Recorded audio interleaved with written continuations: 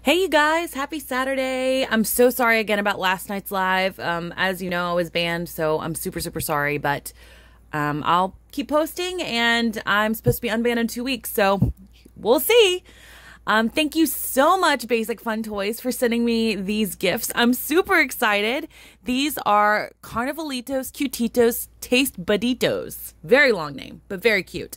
Um, unroll two mini best friends. I'm really hoping for the puppy and the raccoon or the chicken and the beaver, I think is what they are. I'm like half sure. It also came with a little paper and it says you can buy these for one second.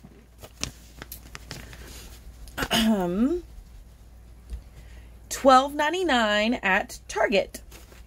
So, if you want to buy them, that's where you can get them at. Here we go, you guys. Um, I need scissors.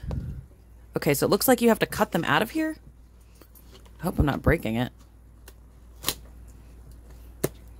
Am I supposed to keep it? Is the bed like a something you want? Okay, I'll be right back, guys. okay, I got it off. um, okay, let's see if we can open the inside now.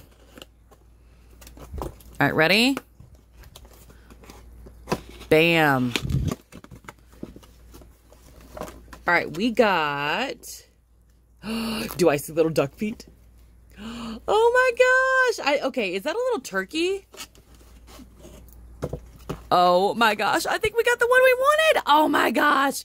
It is chicken and waffles, you guys.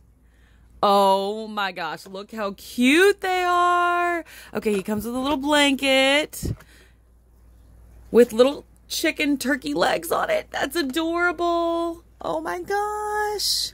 Okay. And then here's Waffles. He's got a little waffle blanket.